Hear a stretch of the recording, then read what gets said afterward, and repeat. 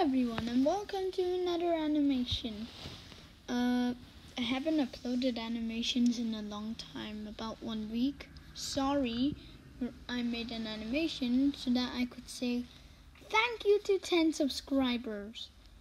This was our first milestone this channel has ever reached. 10 subscribers. However, I don't get a play button off it because it's not so amazing, if you know what I mean.